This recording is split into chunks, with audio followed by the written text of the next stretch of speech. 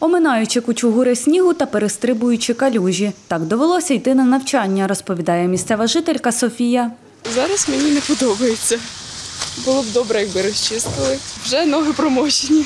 Після снігопаду не дивно, що все навколо тане, говорить місцева жителька Наталя. Та якість прибирання міста, каже, не влаштовує. Іменно на митниці, на Гагаріна е, дуже багато води і пройти це нереально. Якось е, зранку йшла, єлі дійшла.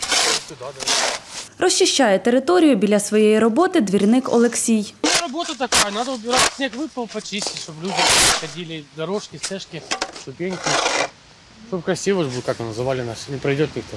На дорогах Черкас суцільна сльота ділиться враженнями водій Олександр. Каже, кермувати в таку погоду нелегко, та робота зобов'язує. машину зносить. е, Я не знаю, що. Ось, де його оце встать?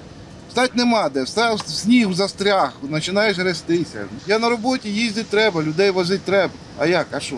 За містом ситуація не краща, зазначає пан Володимир. Разом із дружиною вони приїхали з Чигирина. Просто напливи на дорозі, її не вовремя почистили.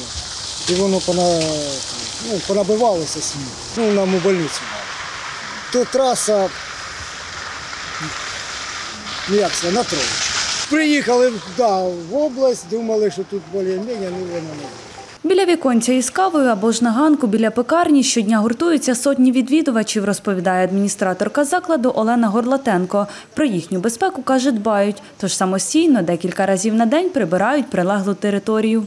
Це наша територія, ми за нею відповідаємо і повинно бути чисто, прохід для людей і для наших відвідувачів. Ми стараємося, е, поки видно, поки світло прибрати, щоб людям було комфортно приходити, заходити до нас в заклад. Ми знаємо ці вимоги.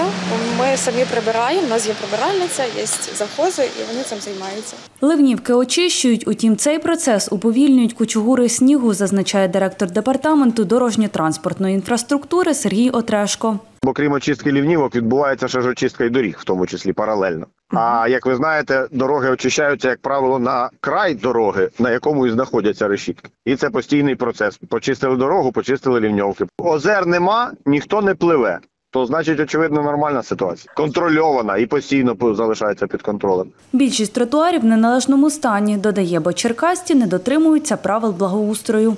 За утримання в належному стані прилеглої території до бордюрного каменя, тому числі і тротуара, відповідає власник прилеглої земельної ділянки. Приватні особи, наприклад, на вулиці Пастерівській є квартали, де тротуар почищений вздовж приватного сектора, оскільки там живуть люди, які дбають про благоустрій і виконують правила благоустрою міста Черкаси. Черкаси сьогодні прибирало 18 машин. Протягом дня використали 70 тонн протиожеледної суміші, розповіла речниця комунального підприємства «Челуаш» Інна Ключка. З них 10 тракторів вони розчищали зупинки громадського транспорту, аби забезпечити прохідність громадян до них і прочищали провулки. Вісім комбінованих дорожніх машин вони розчищали магістральні вулиці та підсипали піщано-соляною сумішю. Працює 95 працівників е, бригади ручного прибирання шляхів та благоустрою. Вони працюють на зупинках і на узвозах. Дороги регіонального, державного та міжнародного значення в межах області прибирало 108 одиниць техніки,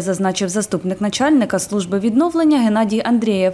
Нині, каже, працюють на шляхах територіального значення, очищують узбіччя та розкидають протиожеледну суміш. Проводять роботи щодо очистки узбіччя, і так як сказав, інші е, проводяться роботи щодо е, так як у нас пройшов дощик, і щоб не було накопичення води, то з проїзної частини відводиться ця вода. В цілому за період 26 і 28 числа, який був е, сильний циклон, то на дорогах області підрядниками було е, оброблено покриття і використано 7,5 тисяч тонн протижилетної суміші. Дар'я Шевченко, Тетяна Недбайло, Олег Кураш, Федір Коцаба, Суспільне новини, Черкаси.